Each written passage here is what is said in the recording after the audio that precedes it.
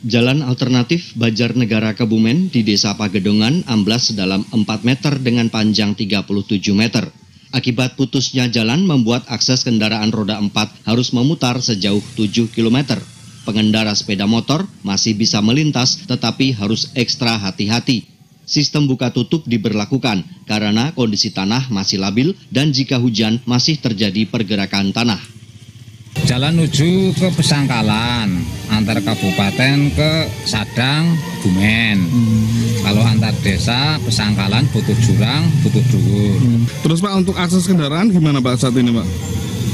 Kalau akses kendaraan sementara kita alihkan ke jalan desa. Hmm.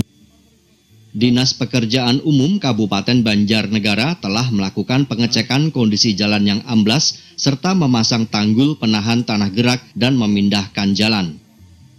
Rencana akan kemungkinan akan di Bronjong.